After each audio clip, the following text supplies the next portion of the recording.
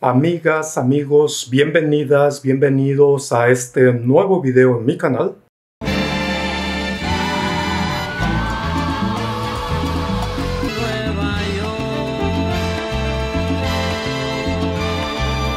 El presidente mexicano Andrés Manuel López Obrador se reúne con Kamala Harris y Joe Biden en Washington, D.C., la capital de los Estados Unidos de América, el martes 12 de julio de 2022.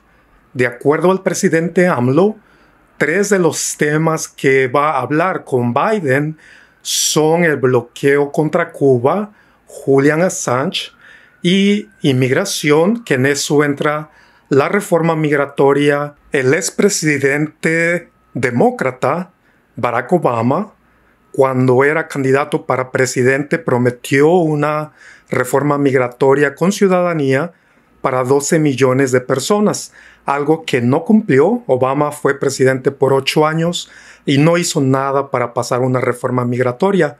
Joe Biden nuevamente, cuando era candidato para presidente, prometió una reforma migratoria con ciudadanía para más de 11 millones de personas indocumentadas. Ya van a ser dos años que Joe Biden es presidente eh, tampoco creo que va a cumplir porque ya el Congreso posiblemente va a cambiar. Ahora mismo los demócratas controlan la Cámara de Representantes, el Senado y obviamente la Casa Blanca. Vamos a ver si Joe Biden cumple con su promesa de campaña. El presidente AMLO ha estado insistiendo en que Joe Biden eh, cumpla con su promesa, así es que vamos a ver qué pasa. Tanto Obama como Joe Biden son demócratas. Los políticos demócratas es muy común que cuando están en campaña prometen cosas y ya cuando están en el poder pues no cumplen. Entonces es como que usan a la comunidad inmigrante solo para obtener votos. El bloqueo contra Cuba tiene más de 60 años el presidente demócrata John F. Kennedy fue quien empezó ese embargo o bloqueo, como se le quiera llamar, y después de John F. Kennedy, todos los presidentes demócratas y republicanos han seguido con el bloqueo, tanto los políticos demócratas como los republicanos apoyan el bloqueo contra Cuba. El presidente López Obrador aseguró que en el bloqueo económico en contra de Cuba es un genocidio. Reiteró que debe de haber unidad en América e incluso dijo que ninguno de los países representa una amenaza para los Estados Unidos, ya que las diferencias son solo ideológicas. ¿Qué no es mejor la fraternidad entre nuestros pueblos? Ya están términos económicos, sociales, culturales, de amistad, pero en lo económico, si nos integramos como región, sin duda, es la región más fuerte del mundo. ¿Qué ganamos dividiéndonos? Esto que están haciendo con Cuba, que es genocidio, esto lo decía Gabriel García Márquez, lo del bloqueo. Bueno, pero ya, vamos etapa nueva. El bloqueo, impuesto por el gobierno de los Estados Unidos de América contra Cuba durante seis largas décadas, ha dejado huellas en la vida de cada cubana y cubano. Cuba sufre desgaste, dolor y pérdidas reales debido al bloqueo impuesto desde Washington. Así lo ratifica la reciente declaración de las organizaciones de la sociedad civil de la mayor de las Antillas, la cual fue dada a conocer este jueves en la sede de la Asociación Cubana de las Naciones Unidas ubicada en La Habana. El documento recoge el derecho de este pueblo caribeño a vivir sin dicha medida unilateral y deja claro cuánto afecta a todos los sectores del país. Cuando Cuba dice que el bloqueo es una política cruel y genocida, no solo habla de los daños en la economía, que por supuesto significan un impacto real en la mesa y en los proyectos de las familias cubanas. Está hablando también de niños con su visión afectada para siempre, de enfermos de cáncer privados de medicamentos indispensables para el tratamiento de la enfermedad, de la falta de implementos necesarios para la inclusión de las personas con algún tipo de discapacidad. El encuentro también fue propicio para que representantes de la sociedad civil reflejaran con ejemplos concretos los daños a la calidad de vida del pueblo de Cuba. El bloqueo no hay duda que afecta directa y fundamentalmente a la población cubana con enfermedades cardiovasculares o en riesgo de padecerlas. Y ya no solo los adultos, los ancianos, he dicho. En este momento en mi institución hay 20 pacientes simplemente ingresados en espera de que se eh, adquieran los marcapasos. Se han hecho esfuerzos muy importantes, millones de dólares, para tratar de adquirir estos marcapasos en el extranjero. Dificultades las conocemos, los bancos no quieren mover el dinero, las empresas que producen los marcapasos no quieren vender los marcapasos cuando se trata de Cuba. Voy a referirme a otro aspecto que no es el que mayormente se, se refiere. ¿Cómo afecta el bloqueo a los propios norteamericanos? Nosotros producimos aquí en Cuba una serie de medicamentos de uso para cáncer que le hemos hecho los estudios costo-beneficio. Nuestros productos son mejores en este sentido que los norteamericanos. Bueno, pues los enfermos norteamericanos no los pueden utilizar. Me voy a referir al que más estoy trabajando últimamente, que es el Everferón para el cáncer de piel. Bueno, hay tres eh, productos en el mundo eh, con esa misma indicación, cáncer de piel, y el nuestro los aventaja largamente en resultados técnicos, científicos y en costo. Y esto es un daño que sufren los propios ciudadanos norteamericanos. La reciente declaración de las organizaciones de la sociedad civil cubana constituye una muestra más de cuánto vulnera esta política los derechos a la salud, a la educación, a la alimentación, a la cultura y al desarrollo de todos los cubanos. Digna Díaz, Cuba Visión Internacional. En el caso de Julián Sánchez, eh, nosotros, eh, en efecto, al finalizar el gobierno del presidente Donald Trump, solicitamos que se le exonerara, porque es eh, un preso de conciencia, es eh, eh, injustamente tratado, su delito, entre comillas, fue denunciar violaciones graves de derechos humanos en el mundo y además eh, intromisión de el gobierno de Estados Unidos en asuntos internos de otros países. Eso fue lo que hizo a Sánchez. Eh, es el mejor periodista de nuestro tiempo en el mundo y ha sido muy injustamente, repito, tratado. Peor, delincuente. Esto es una vergüenza para el mundo, el trato que le han dado a este periodista. Muchos eh, no saben de que lo que hizo fue con una investigación poco ortodoxa, eh, recogió los cables, los informes de embajadas de Estados Unidos,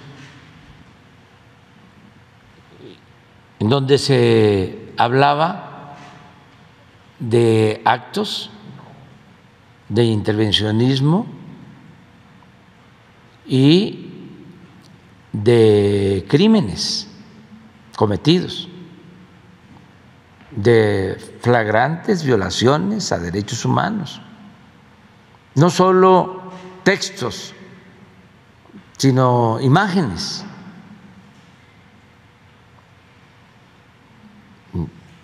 Entonces, eh, lleva ya muchos años preso. Eh, yo esperaba que la justicia en el Reino Unido eh, lo protegiera. Sin embargo, fue muy decepcionante el que lo estén enviando a Estados Unidos, condenarlo a vivir de por vida o estar de por vida en la cárcel, enjuiciado. Entonces, ¿y las libertades? Vamos a quitar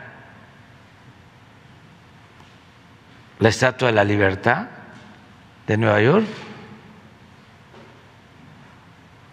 Vamos a seguir hablando de democracia. Vamos a seguir hablando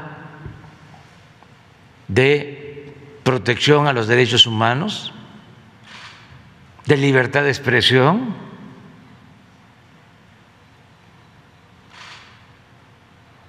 Yo quiero, ya que se trató el tema,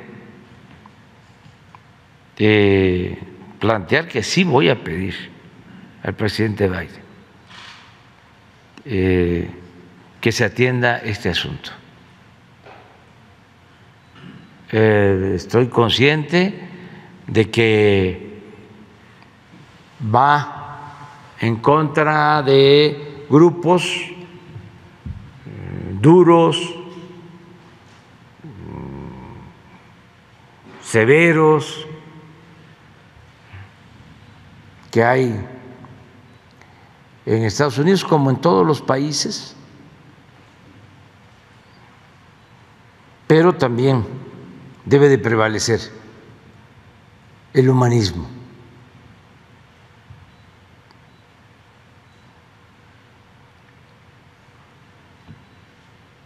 México eh, le abre las puertas a Sánchez.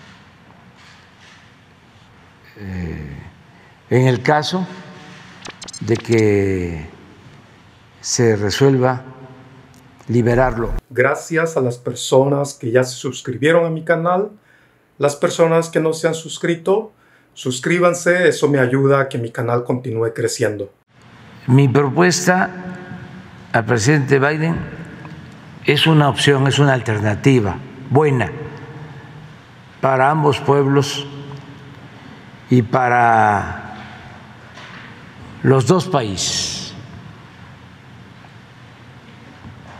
en materia de migración. No hay trabajadores en Estados Unidos para sus actividades productivas. Entonces, ¿por qué negar este hecho real? La falta de, trabajadores. Y al mismo tiempo impedir que lleguen migrantes. Por hipocresía, presidente. Y porque se mantiene desde hace mucho tiempo una política injusta de pagarle menos al trabajador indocumentado y de poderlo correr cuando les da la gana.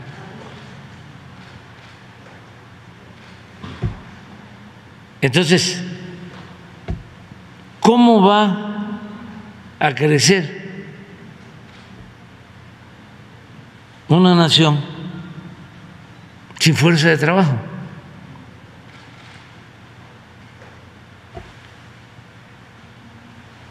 Entonces mi planteamiento es, vamos a ponernos de acuerdo en lo laboral y vamos a ordenar el flujo migratorio y vamos a legalizar la contratación de trabajadores. Que no sea un asunto de particulares, de traficantes de personas, de polleros, de empleadores sin escrúpulos, sino que sea un asunto de gobiernos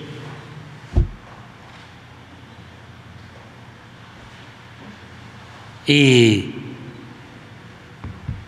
vamos a ponernos de acuerdo sobre visas de trabajo, no solo para campesinos, para obreros, para profesionales, para mucha gente. Pero, presidente, eso tendrá que pasar por el Congreso, que es donde está el Ah. tapón. Sí, pero hay que eh, enfrentar todas esas resistencias. Si no, es como aquí, y como en cualquier país. Si no hay una política atrevida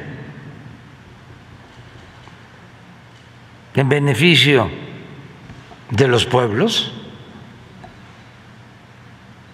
ni se resuelve nada, ni se tiene nunca el apoyo de la gente. Son momentos de tomar decisiones. Es un- una crisis mundial. Y hace falta tomar decisiones. ¿Y qué voy a estar pensando en Bob Menéndez o cómo es? Bob Menéndez, sí. Menéndez. ¿Qué va a decir Bob Menéndez? Sí, se trata de asuntos de Estado, de nación, que el New York Times, que el Reforma. No, hay que transformar.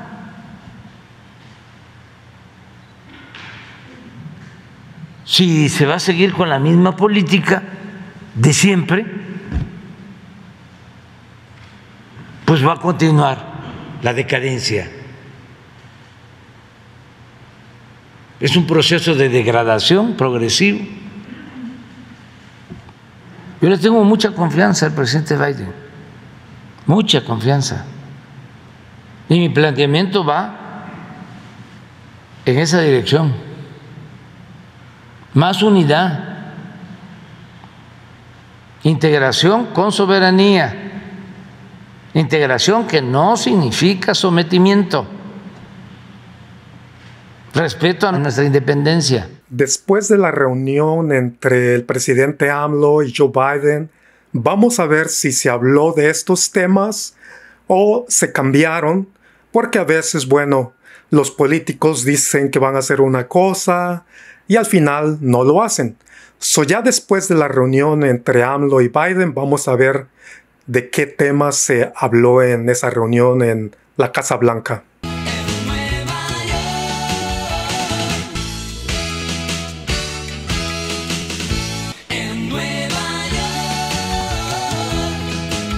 Amigas, amigos, muchas gracias por ver este video.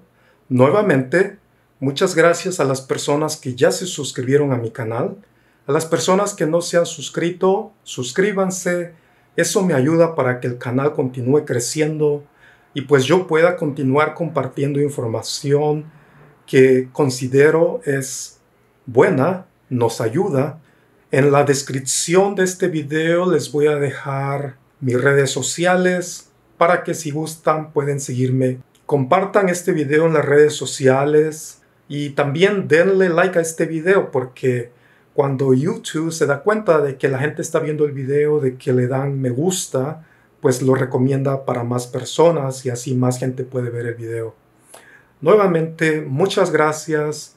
Nos vemos en el siguiente video.